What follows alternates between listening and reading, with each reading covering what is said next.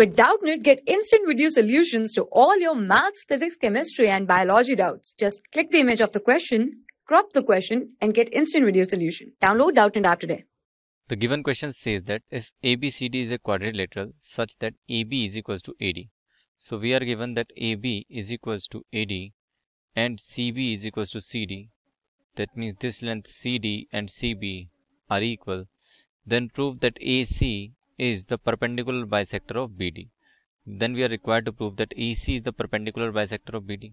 Now to prove that AC is perpendicular bisector of BD, what we need to prove is we need to prove that all these angles that is angle AOB, angle BOC, angle COD and angle AOD all are equal to 90 degree. This is what we are required to prove. And also we are supposed to prove that OA is equals to OC and OD is equals to OB. These two things we should we are required to prove to prove that uh, these two lines are perpendicular bisector of each other.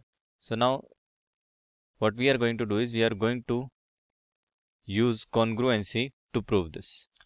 Now if I observe in triangle A, in triangle ABC and triangle ADC, what I find out is that AB is equals to AD, AB is equals to AD, BC is equals to CD, BC is equals to CD and side AC is common in both the triangles. So I can say that by by side side side side side side congruence criteria we can say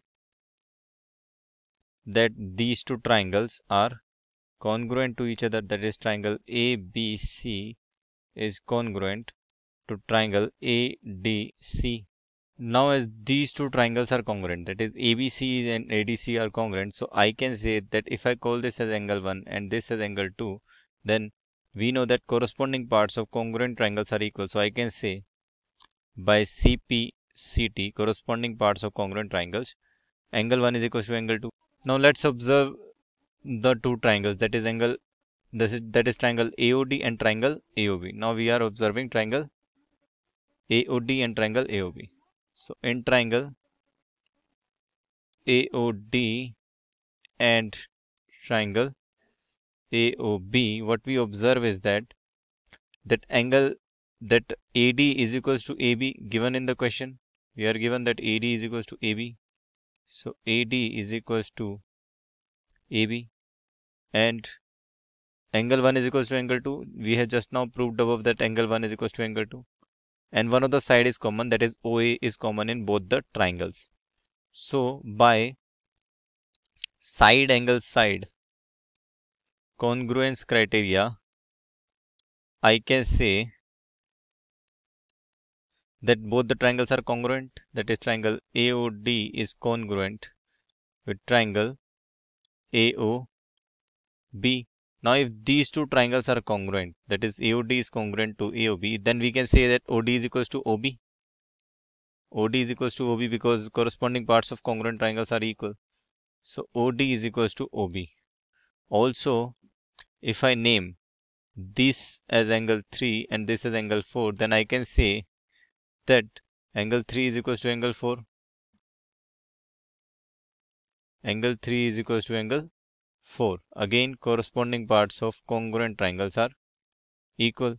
Now if angle 3 is equals to angle 4 then we can observe that angle 3 and angle 4 are lying on a straight line. So angle 3 and angle 4 are forming a linear pair. That means their sum that is angle 3 plus angle 4 will be equal to 180 degree. So I can replace angle 3 by angle 4 angle 4 by angle 3 because I have just now proved above that angle 3 is equals to angle 4.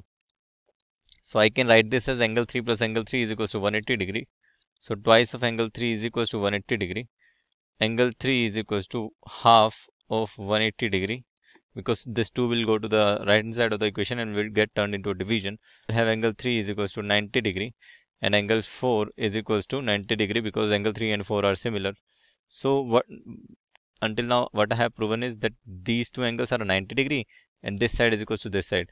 In a similar manner, I can in a similar manner I can prove that OA is equals to OC and these uh, two these two angles are 90 degree so we can similarly we can say similarly we can say let's call these as angle 5 and angle 6 so I can say angle 5 and 6 are also 90 degree.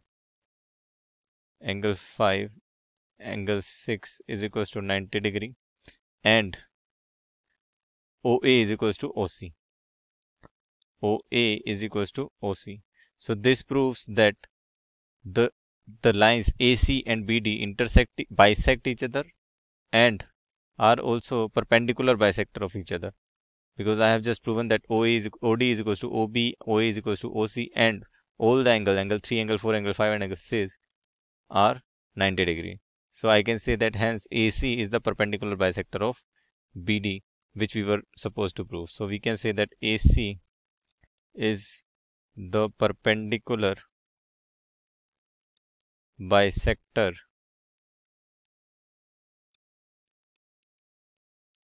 of BD. Hence proved. Thank you. For class 6 to 12, IIT JEE and NEET level. Trusted by more than 5 crore students. Download Doubtnut App today.